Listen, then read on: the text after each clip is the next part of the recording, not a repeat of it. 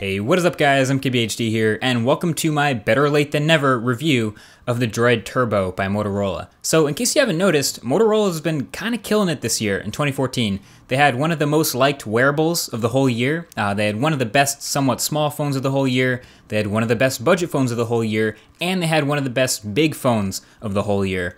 And their latest release here in the Droid Turbo, or the Moto Maxx on some other carriers, is actually, I think, one of their best experiences yet. So essentially, the Turbo offers the same software experience as the Moto X. And I talked a lot about this in the Moto X review, about how Motorola is sticking to near stock Android to give quick updates, and are just adding a few features on top to enhance the experience. So the Turbo does this too, and it's on KitKat right now, but fingers crossed that it'll be updated to Lollipop very soon. And the other software difference really is that it has some Droid specific widgets, some ringtones and wallpapers, but that's basically it. So to best describe this phone, I'm going to give you all the ways that it's different from the 2014 Moto X. And the first way it's different is the build quality and materials. So right off the bat, what you're looking at here is the black material called ballistic nylon. And there's actually two choices of materials, ballistic nylon or Kevlar. Kevlar comes in red and only has a 32 gigabyte version. Uh, it looks a lot smoother, but honestly also a little bit slipperier, uh, even though I haven't held one to determine if that's true. But the ballistic nylon here is much more textured. In fact, it's more textured than any other phone I've held in recent years. It is a super 3D woven pattern, kind of like carbon fiber, but much thicker. Uh, it's actually so thick that sometimes it catches lint and dust or whatever's in your pocket around stuff near the camera and the Motorola logo, which I hate, but I still prefer having that a little bit of texture over something totally smooth on a phone that's curved like this. Also, bonus, there is no Verizon tramp stamp anywhere on this phone. Props to that. So overall, the Turbo is really well built like previous droids, and it feels really durable, really solid to hold in the hand, and it has some slight curving, like I said, near the edges that make it feel less like a brick, and also the edges of the glass are curved a bit as well, so the corners aren't sharp. And the power and volume buttons are both textured, also, fun fact, the SIM card tray sits behind the volume keys, so you actually have to remove the volume buttons to change your SIM card. But overall, this thing is built like a tank.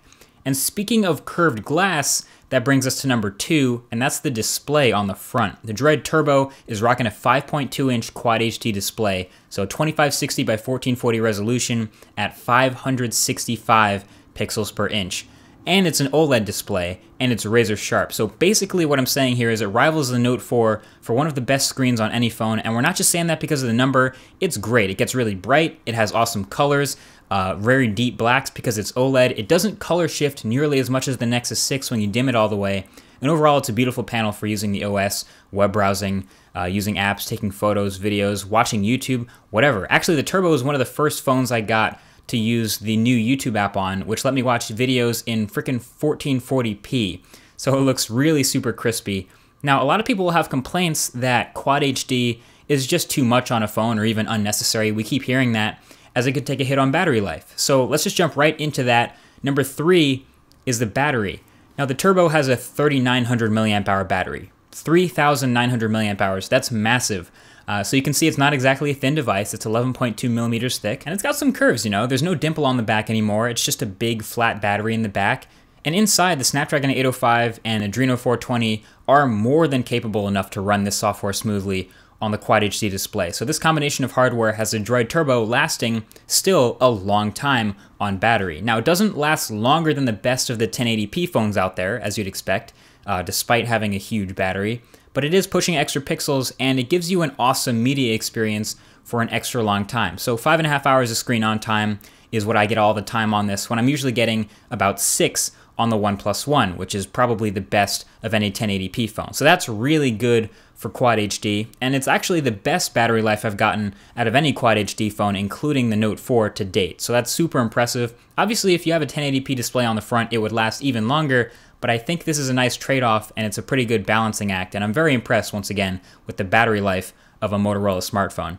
Now the last major change for the Droid Turbo versus the Moto X is the new camera. The Turbo's rocking an impressive 21 megapixel camera with dual LED flash, and let me tell you, it is a huge improvement over the Moto X, and it's actually the best camera Motorola has ever put in a phone. Not just because of the number, 21 megapixels, but it's actually a really good camera. Great sensor, sharpness is on point as you would expect, colors and dynamic range are decent, It's not over sharpened or over processed like, say, a Galaxy S5 or Note 4 photo, but the images you get out of it look pleasing. It takes 4K video, and it's a really high quality, relatively noise free image in anything but the worst lighting. Uh, so, overall, when you take a step back and look at all the changes between the Droid Turbo when you compare with the Moto X, pretty much everything I've mentioned here is an improvement. The camera is better, the battery is bigger, the display is sharper and better looking. I mean, everything seems like it's taken a step forward, and that's why I say the experience of the Droid Turbo is top notch. The biggest disappointment, actually,